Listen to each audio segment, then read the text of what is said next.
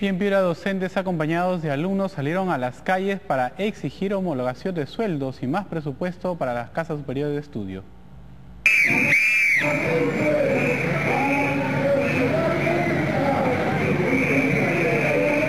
Cumplieron con su amenaza docentes de la Universidad de Piura. Esta vez salieron a las calles acompañados de alumnos para exigir al gobierno el aumento de sueldos y mayor presupuesto para las universidades públicas del país. Si no es el gobierno, el gobierno atiende nuestras demandas y nosotros retornamos a lo que todos los años hacemos, trabajar en nuestras, en nuestras aulas y también en nuestros laboratorios.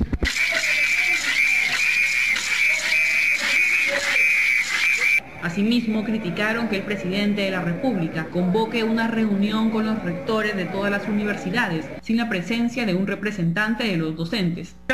Sabemos de buena fuente que el presidente de la República está convocando a través del ministro de Educación para este lunes a una reunión con señores rectores. Está muy bien que se reúnan, pero la huelga no es de los rectores, la huelga es de los docentes de las universidades y los docentes de las universidades ya le hemos dicho quiénes son nuestros interlocutores.